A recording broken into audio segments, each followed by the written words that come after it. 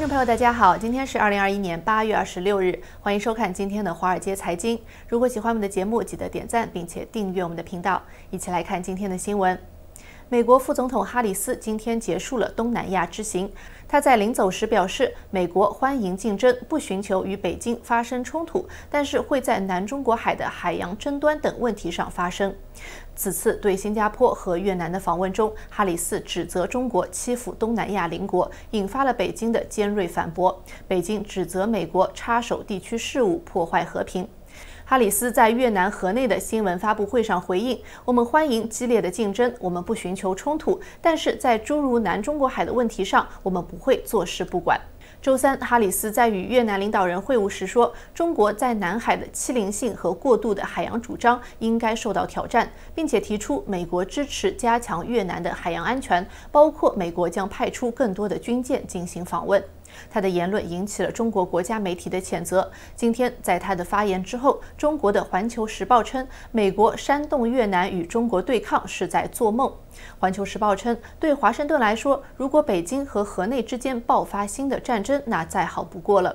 除了中国外交部和国家媒体的斥责之外，中国政府还试图在哈里斯访问越南期间插手。中国驻越南大使与越南总理举行了一次突击会晤。在越南总理范明正和中国大使的这次事先未公布的会晤中，范明正说，越南在外交政策中不会偏袒任何一方，并且感谢中国新捐赠的两百万剂新冠疫苗。而在一天后，哈里斯抵达时，哈里斯则承诺，美国将向越南捐赠一百万剂的辉瑞疫苗。在过去的几年里，中国和越南在南海的关系一直很紧张。尽管河内试图取得微妙的平衡，河内和北京的共产党执政者保持着紧密的联系。越南依赖进口中国的材料来支持其制造业和出口，而与此同时，越南与老对手美国的关系也越来越密切。尽管在人权问题上有所分歧，越南因为限制言论和新闻自由以及镇压政治意见人士而面临批评。但是，当被问及为什么美国批评中国的类似行为，但是却在寻求与越南建立更强大的伙伴关系时，哈里斯没有回答。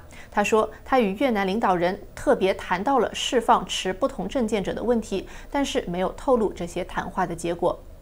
另外，中国政府今天表示，中国正在与美国就贸易问题保持正常沟通，这是中美今年以来避免相互对抗的少数领域之一。华盛顿和北京在2020年1月签署了所谓的第一阶段贸易协议，该协议要求中国在两年内将其对美国出口产品的购买量增加两千亿美元。北京在实现这一目标方面已经严重落后，部分原因是由于新冠疫情。该协定将于2021年底到期。中国商务部发言人高峰说：“中国一直强调，双方应共同努力，创造气氛和条件，推动协议的实施。”他说：“中美双方的贸易和经济合作符合两国和两国人民的利益。”另外，中美两国似乎在应对气候变化方面将进行更加密切的合作。消息人士本周告诉路透社，美国气候特使约翰·克里预计将于九月访问中国，这将是他今年的第二次访问中国。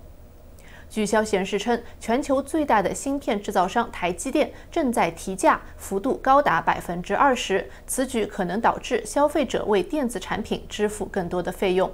台湾半导体制造商台积电计划将其最先进的芯片价格提高大约百分之十，而汽车制造商等客户使用的普通芯片的价格将提高大约百分之二十。一般调整价格将在今年年底或者明年生效。但是昨天有电子产品公司中午接获台积电的通知，涨价即日生效。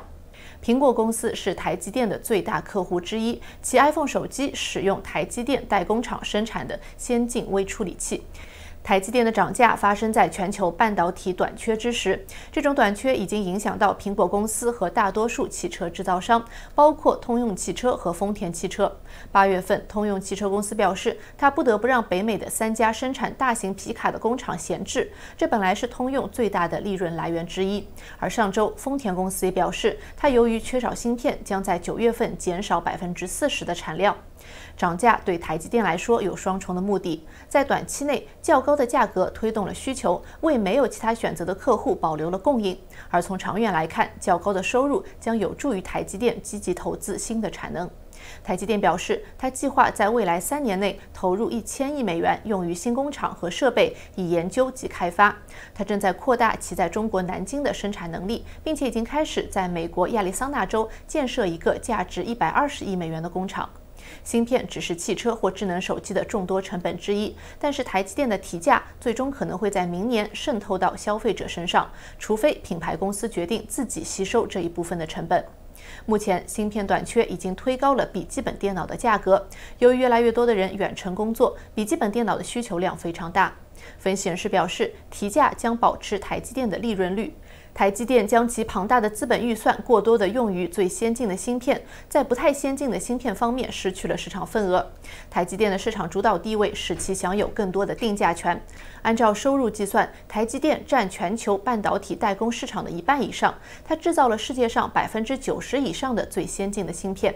在四到六月的季度中，台积电的净利润为四十八亿美元，净销售额为一百三十三亿美元。台积电百分之三十六的净利润率是大多数公司所羡慕的，但是其现金流通常远远低于其利润，因为它把赚到的大部分钱又投入到了新工厂和设备当中。分析师说，提价可能会使台积电的收入提高百分之十至百分之十五，盈利提高百分之二十至百分之三十。这种影响将在明年的第一季度看到。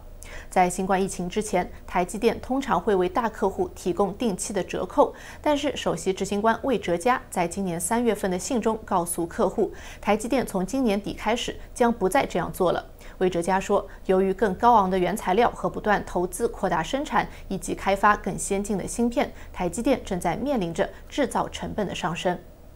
报道称，欢聚时代的两大股东、董事长李学林和小米集团的创始人雷军计划将欢聚集团私有化，估值最高可能达到八十亿美元，目标是在今年年底前完成交易。据知情人士称，他们正在合作洽谈这笔交易，因为他们都认为欢聚时代在美国的市场被低估了。知情人士还表示，李学林和雷军希望以每股七十五至一百美元的价格将欢聚私有化，较该公司过去一个月的平均股价要高出百分之五十至百分之一百。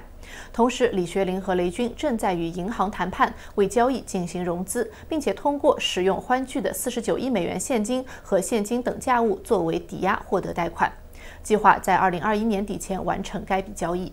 欢聚还计划随后分拆其关键资产 Bigo，并且在亚洲上市，以获得更高的估值。Bigo 总部位于新加坡，经营着直播平台 Bigo Live 和短视频业务。欢聚的董事长李学林和小米创始人雷军是欢聚的两个最主要的大股东。欢聚2020年的年报显示，李学林和雷军分别持有该公司23.2%和7.8%的股份，李学林有76%的投票权。欢聚成立于2005年，2012年在纳斯达克上市。该公司在过去一个月的平均市值为39亿美元。在过去的六个月里，欢聚的股价下跌了53%，但是消息公布后，其股价盘前一度上涨超过13%。创纪录的高昂运费和运输能力不足将困扰中国的公司到明年。中国政府称将会研究有针对性的措施来帮助出口商。根据美国货运追踪公司的数据，价格飙升正在对全球供应链造成严重破坏。本周从亚洲向美国东海岸发送一个集装箱的成本比一年前增加了百分之四百四十二，达到了每四十英尺两万美元。商务部发言人高峰今天表示，中国政府各部委已经联合起来，积极采取措施，增加集装箱供应，提高航运能力，加强国际合作。地方政府也加强了对中小型企业的航运配套服务，帮助他们降低成本和损失。招商局能源航运部经理刘春婷昨天预测，运费将至少再保持六个月至一年的高位。他说，不管是中国企业还是政府，都最好对这种前景有一些心理准备。上周，上海至洛杉矶的运费比去年同期飙升了百分之二百四十二，世界集装箱综合指数同比增长了百分之三百六十，已经连续十八周上涨。中国交通运输部认为，即使疫情得到控制，运费仍然难以回到二零一六年至二零一九年的低点。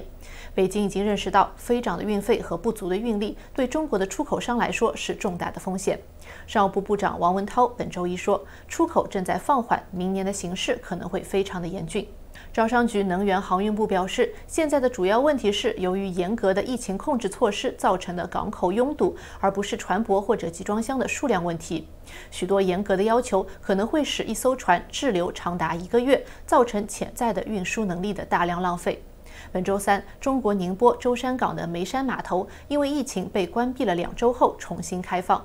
专家表示，如果新冠病毒继续变异，将为航运带来更大的不确定性。届时，无论中国的疫情情况有多好，如果邻国或者航线目的地国家的物流效率无法恢复，那么航运价格也很难恢复到正常水平。